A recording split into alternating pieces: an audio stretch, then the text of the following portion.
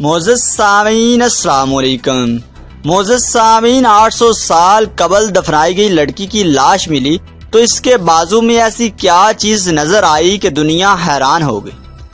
वस्ती अमेरिका के मुल्क पानामा की एक वजह शोहर से तो हम आगाह हैं, लेकिन अब माहरीन ने अब वहाँ एक ऐसी हैरान कन दरियाफ्त कर ली है, जिसने दुनिया की मेडिकल तारीख ही बदल कर रख दी है। मेल ऑनलाइन की रिपोर्ट के मुताबिक माहरीन ने पानामा में एक कदीम तरीन कबर दरियाफ्त की है, जिसमें हैरान कन तौर पर नौ उम्र लड़की को अंधे मुँह यानी के माँ के पेट में मौजूद बच्चे के अंदाज में दफनाया गया।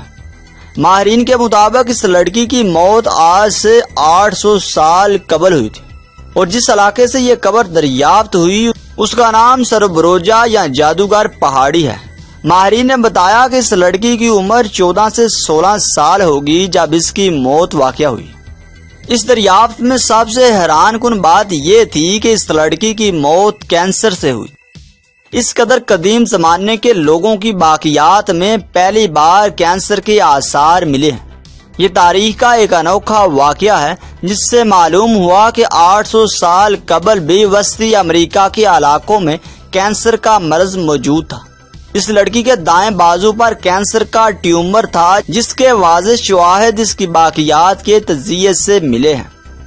लड़की की बाकियात के पास से मिट्टी के दो बर्तन और समुद्री सिपियों से बनने वाला एक बाजा भी बरामद हुआ है। माहरीन के मुताबिक इस वक्त की रवायत थी कि लोगों को दफन करते वक्त ये चीज़ें इनके साथ दफन करते थे। तो मुझे सामीन ग्रामी उम्मीद करता हूँ कि ये इन्फॉर्मेटिव वीडियो आपको पसंद आई होगी। अगर वीडियो पसंद आती है तो हमारे इस चैनल को सब्सक्राइब करें और साथ बेल बटन को दबा लें ताकि हर आने वाली वीडियो को आप देख सकें।